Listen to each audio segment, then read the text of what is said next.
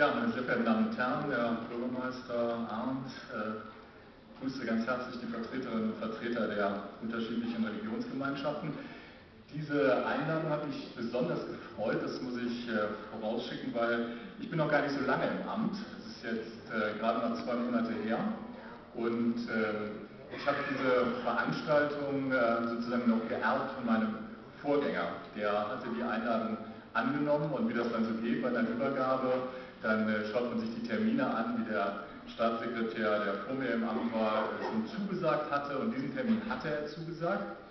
Und ähm, ich habe mich damit dann auseinandergesetzt und habe gedacht, willst du den Termin überhaupt machen? Habe mir die Termine angeschaut und habe mich äh, dann im Vorfeld ein bisschen auseinandergesetzt, äh, was passiert da in Marl überhaupt und es ist für Premiere für mich, ich komme zwar aus NRW, aber ich muss zugeben, heute zum ersten Mal in Marl, auch das äh, finde ich ganz spannend.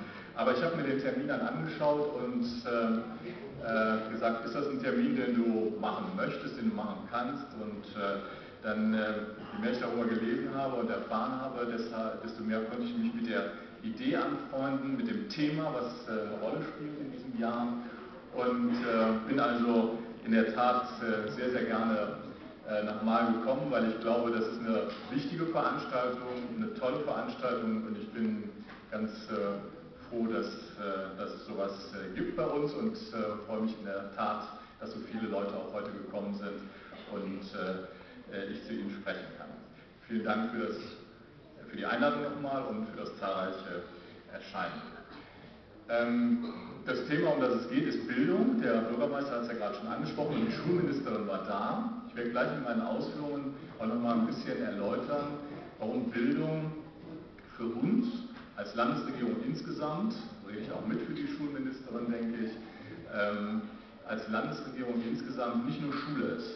Warum Bildung durchaus äh, sozusagen aus unserer Sicht umfassender und allgemeiner und viel breiter gedacht und gefasst werden muss. Und äh, das, äh, das ist uns als Landesregierung ein wichtiges Anliegen. Ich werde gleich auch noch ein paar Dinge sagen, wo ich glaube oder warum ich glaube, dass das so zentral ist und wo wir ansetzen bei Bildung, äh, bei diesem etwas allgemeiner geltenden, allgemeiner begriffenen äh, Bildungsbegriff, den wir äh, voraussetzen. Aber zunächst zu dem Fest hier nochmal selber. Abraham ist ja nicht nur eine biblische Figur, so finde ich jetzt mal den Einstieg in diesen Bildungsbegriff, von dem ich eben gesprochen habe, sondern er ist eben auch ein Brückenbauer zwischen den Religionen. Ich glaube, das ist ja das, was dieses Fest auch hier dokumentieren soll. Ein Brückenbauer zwischen Juden, Muslimen und Christen. Und ein Brückenbauer setzt ja in der Tat auf Dialog, auf Verständigung. Und deshalb ist es eine persönliche Botschaft, die von dem heutigen Abend und dieser Veranstaltung, dem 12. Abrahamsfest, heute hier ausgeht.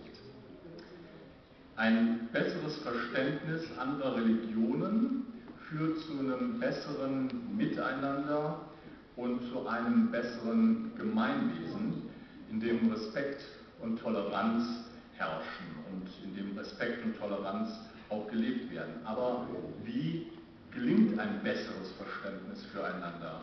Und was ist die Voraussetzung dafür? Und da sind wir ganz schnell beim Bildungsbegriff. Nämlich das Wissen über andere Länder, über andere Kulturen, über und voneinander und damit äh, meine ich die Bildung eben in diesem umfassenderen Begriff. Äh, das geht deutlich über die Wissensvermittlung in der Schule hinaus. Gute Bildung bezieht sich eben nicht nur auf reine Schulbildung, sie umfasst außerschulische Bildungsorte genauso und überall.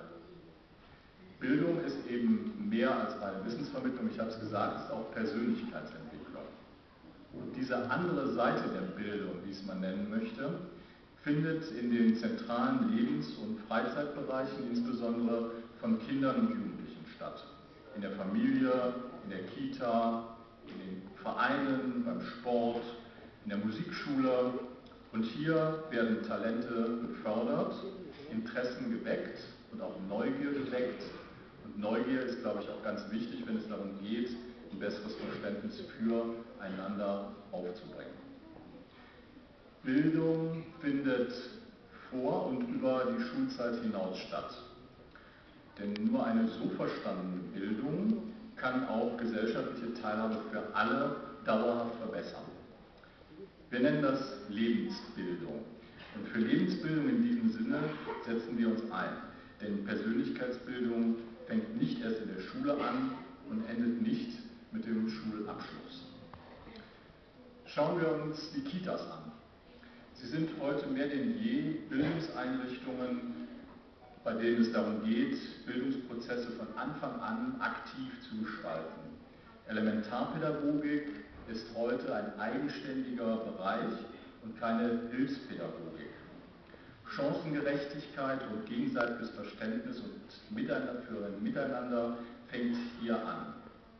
Sie wissen selber, dass die Landesregierung diese Koalition unter der Überschrift äh, Kein Kind zurücklassen und Prävention sozusagen eine Überschrift über diese Legislaturperiode gesetzt hat.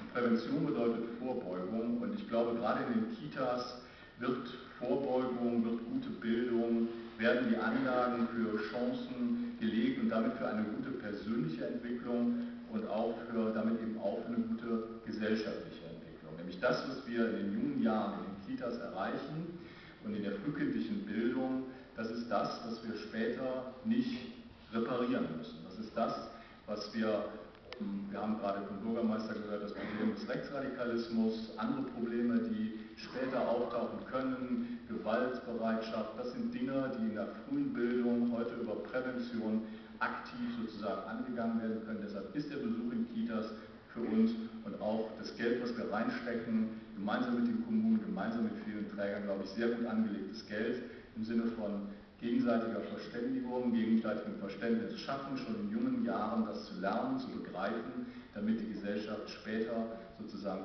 nicht in eine Situation gerät, in der ähm, es gefährliche Entwicklungen gibt, wie wir sie beim Rechtsradikalismus sehen. Deshalb setzen wir ganz massiv darauf und glauben, dass das sehr gut angelegtes Geld ist. Außerschulische Bildungsangebote spielen aber nicht nur im Bereich der Kitas, sondern auch im Bereich der Jugendlichen eine große Rolle. Auch dafür ist unser Ministerium zuständig. Kitas, Ausbau von U3-Betreuung ist ein wichtiges Thema, aber eben auch die Chancen für Jugendliche zu stärken, gerade bei Jugendlichen. Und hier kommt ganz besonders der Ganztagsschule eine große Bedeutung zu. Wir alle wissen, die Schule heute ist anders als vor 20 oder 30 Jahren. Wir haben heute mit G8 eine unglaubliche Verdichtung auch äh, der Lernsituation der Schule. Wir haben über den Ganztag äh, Schulangebote, die weit über den Mittag hinausgehen. Und da ist es eben nicht immer einfach, sozusagen nebenbei noch ein Musikinstrument zu lernen, Sportunterricht zu machen.